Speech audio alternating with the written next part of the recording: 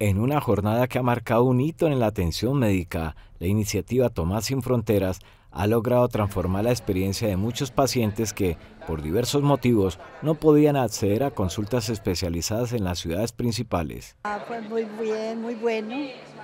Pues porque cuando uno no se hace bien, el otro está pendiente, entonces ya están parece bien, por primera vez que me toca así. Porque hace falta, la gente aquí es de muy escasos recursos para estar yendo hasta Tuluá, los pasajes, la incomodidad, la pedida de citas y de especialistas y todo, es una gran cosa que siguiera haciendo las cosas por acá buena hora, ya, ya tiene comienzo las cosas y ojalá también siga lo mismo, tenga buen final. Está muy bueno, ah, es que este hospital se presta para todo porque es muy amplio y la va de la mano con el Tomás Uribe, con el señor Tinoco, que lleva todas las riendas bien manejadas y el, y el grupo que hace el, trabajo en el hospital.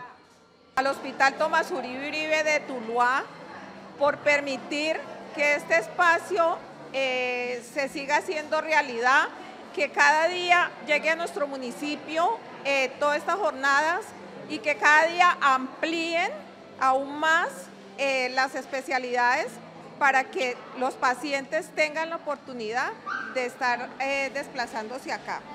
en este momento estoy acompañando a mi mamá, que es una adulta mayor.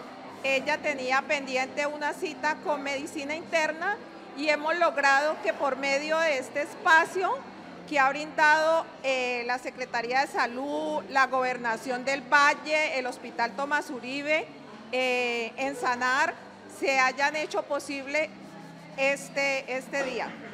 Esperamos que muy pronto se puedan seguir dando aún más jornadas y amplíen aún más las especialidades y los servicios aquí en el Hospital de Andalucía. La experiencia de los pacientes que han esperado por mucho tiempo para consultas con especialistas ha sido positiva, ya que debido a problemas de transporte y salud no podían acceder a estos servicios en las ciudades principales.